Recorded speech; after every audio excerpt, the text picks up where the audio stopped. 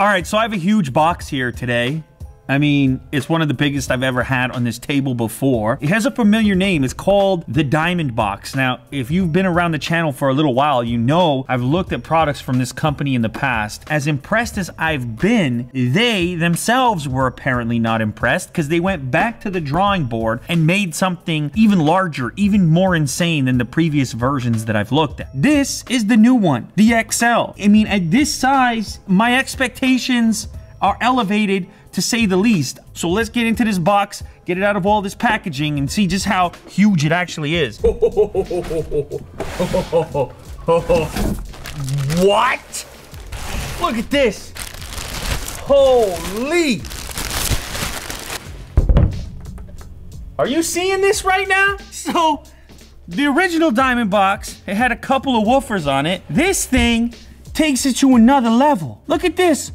One, two, three, four, five, six woofers, two bass ports, and look at all those tweeters on the top. Now this thing is heavy, although I'm sure you expected that. On the back of the unit here is where your inputs are. You have input for power. You also have an audio input and an audio output. So the reason for that is because you can daisy chain these together if you want to get even crazier. Now those are just the analog inputs. Chances are you're going to use wireless with this. You're going to use the Bluetooth, I assume. But there's also an auxiliary in for a mini jack, power switch, the volume knob. This USB power here could be used to keep your mobile device charged. So when it's spitting out those Bluetooth tunes, it's not going dead. And just like the other DiamondBoxx products, you have an actual CZ diamond in there near the volume knob. The other things included in the box are this power brick, mini jack cable, to go with the analog signal and an extension power cord. After a full recharge, the DiamondBoxx Model XL will play 5 to 30 hours. It is a 560 watt RMS speaker, 960 watts max, Class AB 12 channel high fidelity amplifier in a bi-amped arrangement with active crossovers. Okay, cool. Now, I don't think we're gonna have to plug it in because it probably has some juice to it. How can this not be loud? Look at it. I mean, it's gonna clip the microphone for sure. Here we go. Let's just wait a minute here. I just, I just turn up a little bit. I gotta see where we're at with the, when the drums come and whatnot.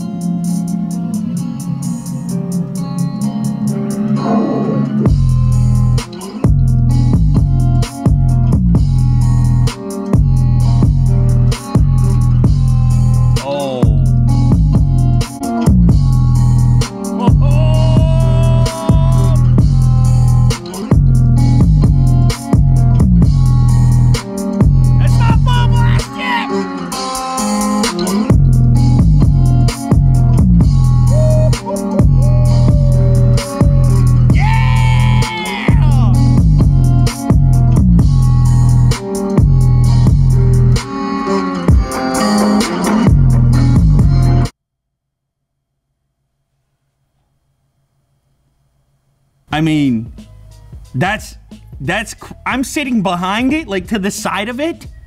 That's filling up the whole the whole space. It might be louder than one of those Devialet Phantoms. I don't know though. I'm just saying, I mean, the form factor is obviously bigger. But my goodness, if you get this on location, people's minds, they can say goodbye to those minds. Let's try something else, okay? The low end is thick.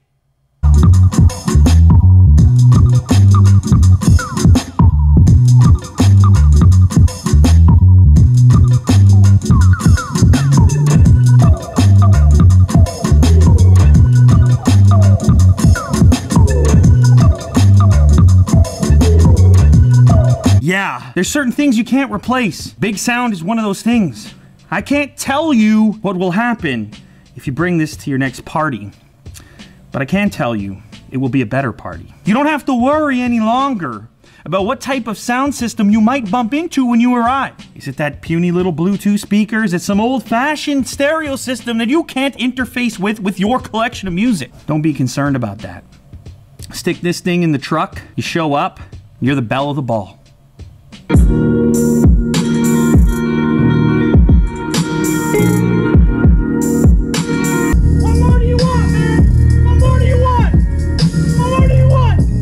So now it's time for the brand new segment, questions and answers featuring me and you. You left a bunch of questions, so I'm gonna do like I did at the end of last video and answer three of them. It's what the people want. Here is a question, it has 57 thumbs up. Hey, what do you do with the products, gadgets after you're done unboxing them? Do you collect those things? It sounds weird to say this, but it is kind of a nightmare because there is so much stuff that comes here that, that we can't even possibly get to. Some stuff that's still sitting in the box. We got shelves full of stuff over there. It's actually kind of insane. We keep it around for a little while. One of the ways that I get rid of stuff is, of course, friends and family, right? They come through, they, they treat this place like a Best Buy. I'm telling you, the friends and family of Unbox Therapy, they're outfitted. Who is Jack? Good luck with that one. Nice try. Hey, what should I wait for? The iMac Pro or the Mac Pro for my 8K raw footage? First of all, 8K raw footage. You sound like you're doing well, sir. I asked some people and they said I should go the MacBook route. Well, I will say I've had the Mac Pro, I've had the iMac in the past. Now, obviously not the iMac Pro.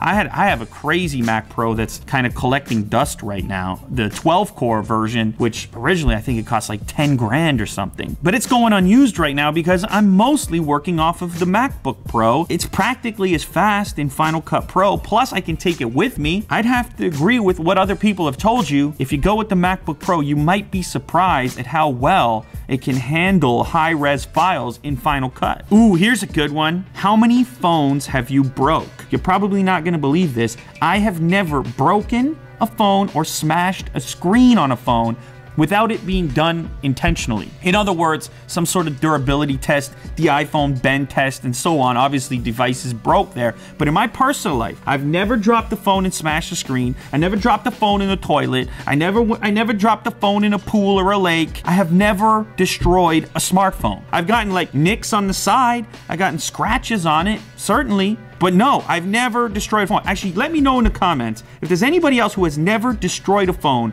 I want to know. So there you go. Three questions answered at the end of the video. I'm going to do it again on the next video because this is fun. So leave your questions in the comment section of this video right here. And who knows, you may make it into the next episode. This episode of Unbox Therapy has been brought to you by Blue Apron. These are the guys that send you a box in the mail, much like this one, with fresh ingredients so you can cook your own meal. But those ingredients are put together to a chef's plan. You get a whole recipe inside, so you're, you're making chef quality meals yourself. Now, when this box shows up at your front door, it's also refrigerated, so you don't need to worry about it. You just, you pick it up, you bring it inside, and you, you get to cooking. You can get a couple of different plans. There's a two-person plan or a family plan, so your meals are coming in, they're fresh, they're healthy, and you can you can get rid of all that fast food that you're eating and you can actually cook a healthy meal. Now they offer up a big selection of different meals so you're always trying something fresh and new. Maybe you're jumping into some ingredients you wouldn't have purchased yourself and now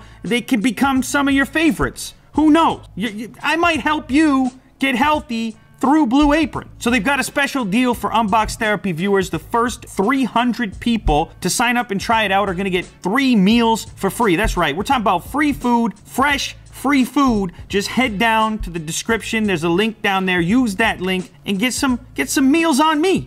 And Blue Apron, of course.